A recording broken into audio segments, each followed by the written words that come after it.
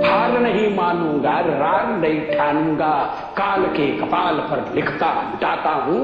गीत नया गाता, गीत नया गाता। जीवन में बड़ी सभाएँ अनेक संबोधित की है, लेकिन आज जैसी यह सभा मैं कभी संबोधित करूँगा, ये कभी कल्पना मेरे मन में नहीं थी।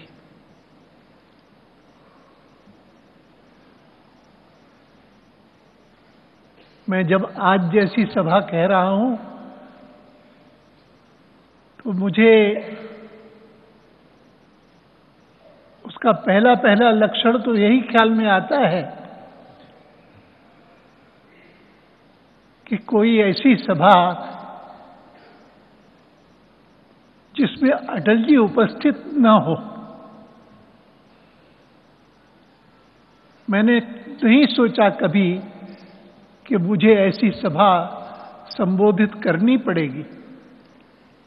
यद्यपि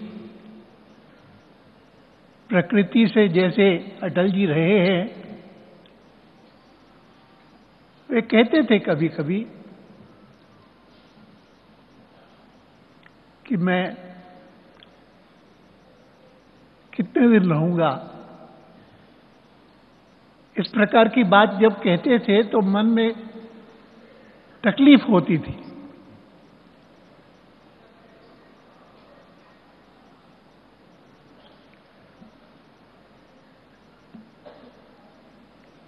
मैंने जब पुस्तक लिखी थी, अपने जीवन की आत्मकथा की। उसमें अटल जी का उल्लेख था। और इसीलिए जब उस पुस्तक का विमोचन हुआ और उसमें अटल जी नहीं आए तो मुझे बहुत कष्ट हुआ। और मैं उसका उल्लेख सब जगह करता था कि मैंने पुस्तक लिखी, पुस्तक का प्रकाशन भी हुआ। लेकिन पुस्तक का जब विमोचन हुआ तो अटल जी उपस्थित नहीं थे। मुझे मन में कष्ट हुआ था। आज स्वयं अटल जी उपस्थित नहीं है और ऐसी एक असाधारण सभा हो रही है। जिसमें केवल मात्र अटल जी को जानने वाले, अटल जी के साथ काम करने वाले ऐसे ही अनेक कार्यकर्ता नहीं हैं, लेकिन विभिन्न पार्टियों के अलग अलग नेता जिनका शायद जनसंघ से, संघ से संबंध न भी रहा हो ऐसे भी यहाँ उपस्थित हैं। इसका मुझे बहुत खुश, इसकी मुझे बहुत खुशी है। बहुत आनंद है। लेकिन,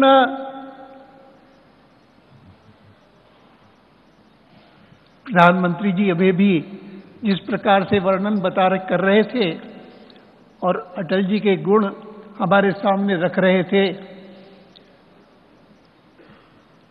ऐसी अनेक बातें और भी लोग कर सकते हैं। लेकिन मैं तो अपने को सौभाग्यशाली मानता हूँ कि मेरी मित्रता अटल जी से पैंसठ साल से रही है। पैंसठ साल से मैंने उनको निकट से देखा है और जैसे अभी अभी प्रधानमंत्री जी ने कहा ना कि, उनके साथ साथ मिलकर के कई सारे अनुभव किए।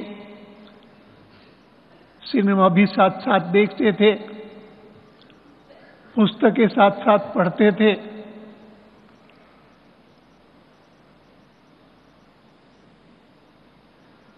इतना ही नहीं तो कोई अगर अटल जी के परिचय का कोई साक्षात्कार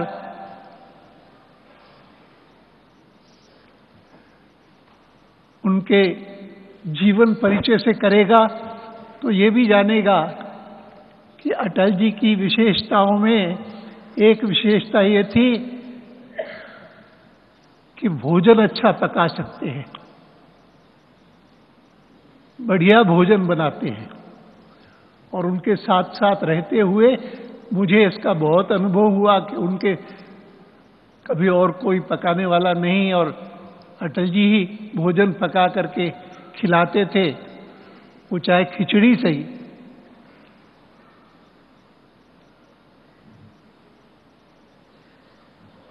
मैं इस बात का उल्लेख इसलिए कर रहा हूँ कि अगर एक दिन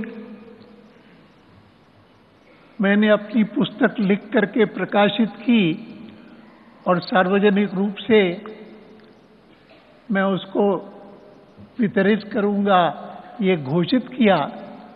और अटल जी उस दिन नहीं आ सके तो मुझे कितना दुख हुआ कि अटल जी मेरी पुस्तक के विमोचन के दिन भी नहीं आए।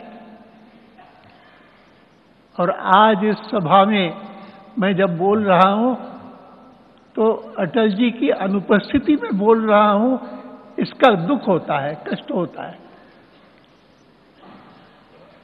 मैं उनसे बहुत सीखा हूँ। उनसे बहुत पाया है मैंने। यूँ तो यह पार्टी ऐसी है जिस पार्टी में ऐसे ऐसे लोग मुझे सिखाने को आए और मेरे कार्यक्रमों में आए। और उनमें अटल जी तो प्रमुख है, लेकिन मैं कभी भूल नहीं पाता हूँ कि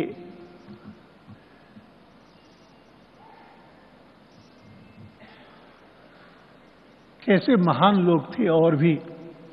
आज भी यहाँ पर बैठे हुए बहुत सारे महान लोग हैं। जिनका सहवास जिस जिस व्यक्ति को मिलता है, वो बहुत कुछ सीख पाता है।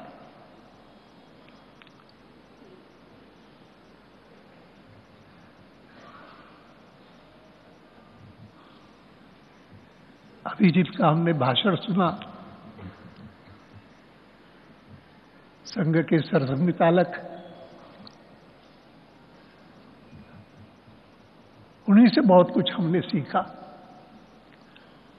और आज जब वो अटल जी के बारे में हमको बता रहे थे तो उनके एक एक शब्द को मैं ग्रहण करने की कोशिश करता था और सोचता था कि कितना अच्छा होता कि आज हम अटल जी की अनुपस्थिति में ये बातें न कहते लेकिन उनके सामने कहते तो कितना कितना आनंद होता, कितना उसके कारण मन में संतोष होता और समाधान होता।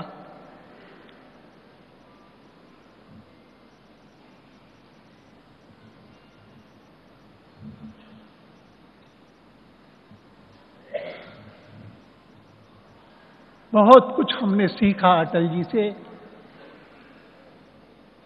बहुत कुछ पाया अटल जी से और इसीलिए दुख होता है कि वो हमको छोड़ करके और हमसे अलग हो गए। नियम है, लेकिन इतना ही कह सकता हूँ कि अटल जी ने जो कुछ हमको सिखाया जो कुछ हमको दिया उसको ग्रहण करके हम अपना जीवन बिताएँ। जितनी मात्रा में हम ये कर सकेंगे, उतना हम एक प्रकार से जो संस्कार हमने राष्ट्रीय स्वयंसेवक संघ से पाए हैं, वो हमने उन संस्कारों को हमने कार्यान्वित किया। ये हमको मन में संतोष होगा। यही कह करके मैं विनम्र श्रद्धांजलि अटल बिहारी वाजपेयी जी को समर्पित करता हूँ और भगवान से प्रार्थना करता हूँ कि उनके बताए हुए मार्ग पर मैं स्वयं जीवन भर चल पाऊँ और